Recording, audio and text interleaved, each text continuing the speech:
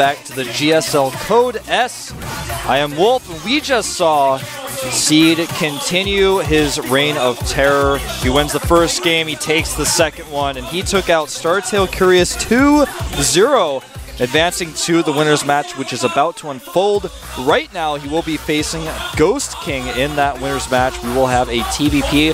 Now, came off of a TVP win where he also went for a 2-0 very quickly against Liquid Hero, showing some Marine tank play very, very well done in those two games. Now, I wonder what his plan is going to be in this series as well. He could continue on with the same type of strategy. I think that's even very likely based on how well he used it twice. I mean, a strategy that's unique like that seems like, oh, it's the type of build you throw in every once in a while. But in the case of Ghost King, aka Byun, it seems like the type of strategy that he thinks is actually standard that you can use twice in a row. You know, and this, even though we saw it in the second game more all-in type of fashion, it's a very similar build of both games. Very similar compositions. Really loves his Marine tank. Deals with High Templar even with Siege tanks rather than Ghosts. Ironically, I mean, he is Ghost King after all. Let's find out what the strategy will be against Seed, the Illusionist Protoss. The map is going to be Ohana. It's the GSL Code S Season 3. I am Wolf. This is brought to you by Monsieur J, our new sponsor. Let's start right now.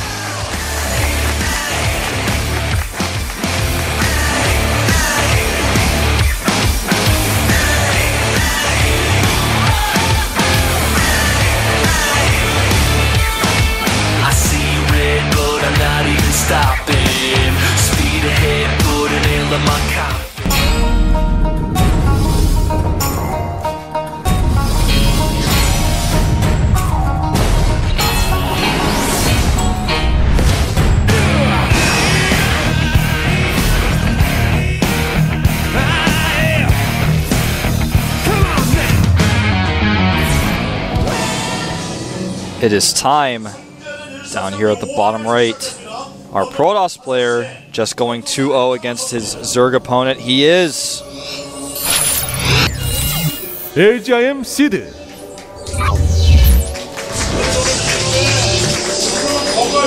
Unique double Stargate build, an older build, but Seed definitely the guy who changes things up the most. His opponent used to be on the team Zenex, now is on the team Prime. He is. Ghost King Prime.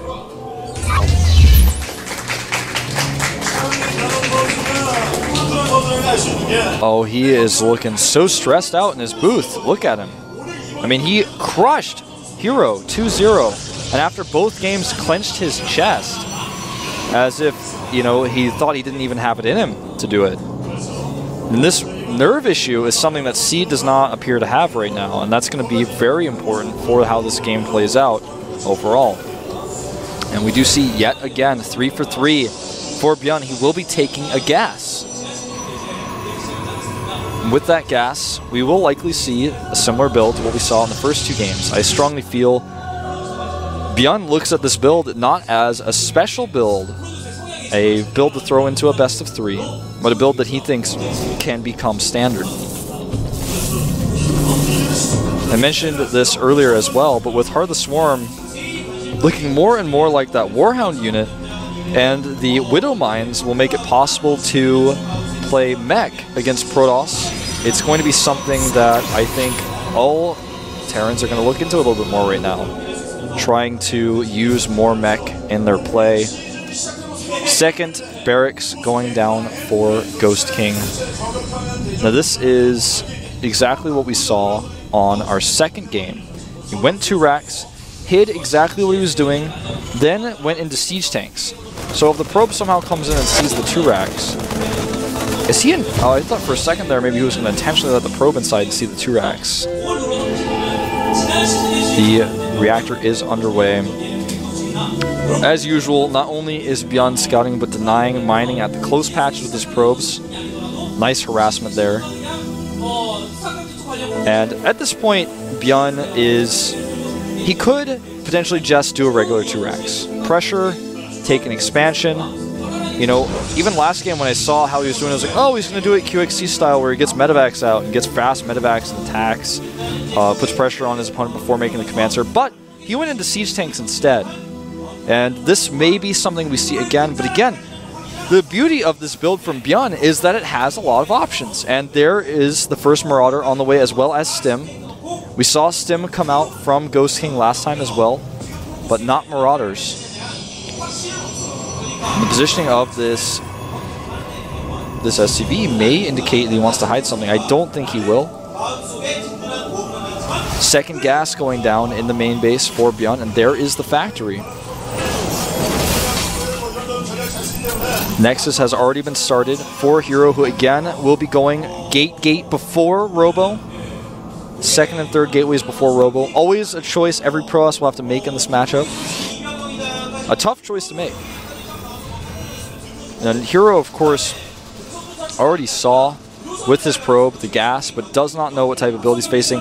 Now he's going to see this Marauder moving out here, and he's going to, oh, okay, two racks. I, I do not have my gateways up just yet. I have one sentry here, second one popping out. If I get these two force shields down, I'm fine. And one force shield goes down.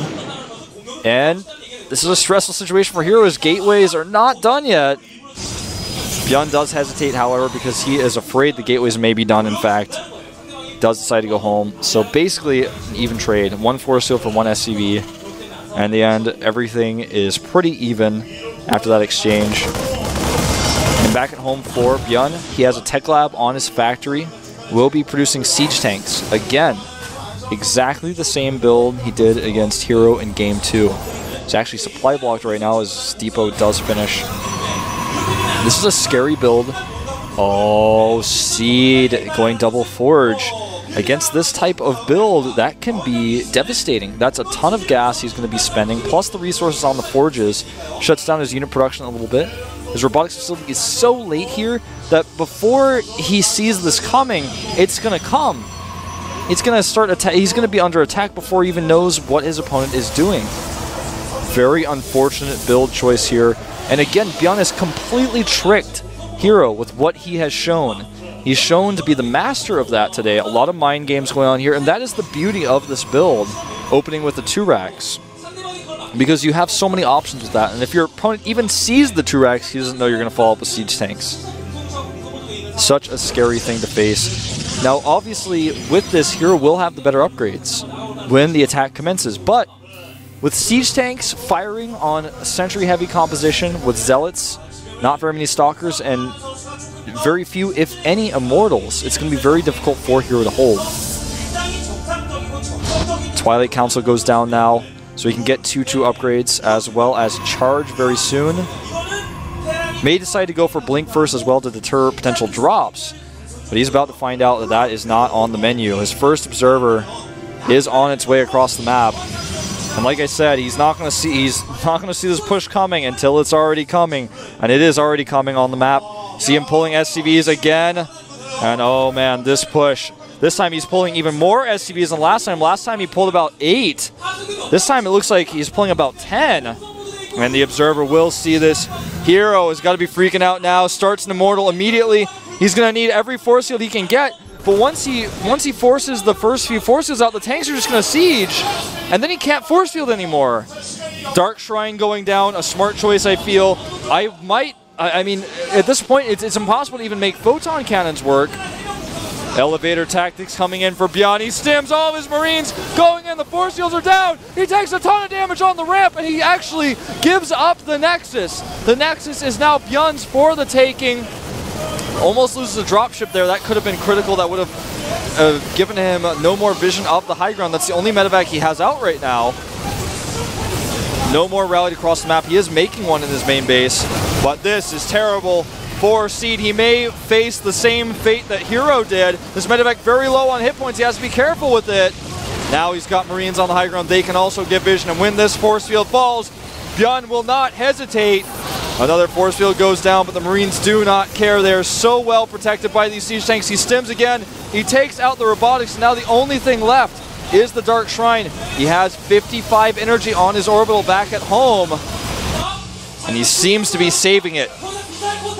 He's saving it indeed. He intentionally saves it. He's practiced this build so many times. He even makes a missile turret next to his siege tanks. This game is OVER over. Seed gonna be taken out here by the same build that we saw.